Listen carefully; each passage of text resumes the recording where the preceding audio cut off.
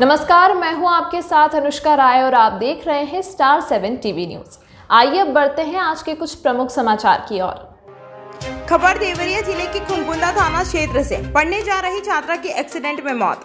सोनूघाट जनता inter college में पढ़ने जा रही छात्रा का एक्सीडेंट। मौके पर ही मौत। रिमझिम कुशवाहा पुत्री श्री राम नारायण ग्राम भरोली की रहने वाली है। कक्षा नौ की छात्रा है, घटना लगभग साढ़े आठ बजे हुई है। मुंडेर बुज़ुर्ग के पास एक्सीडेंट। अंकित मिश्रा की रिपोर्ट। अभी तक के लिए फ़िलहाल इतना ही। खबरों के साथ बने रहने के लिए देखते रहिए स्टार सेवन टीवी न्यूज़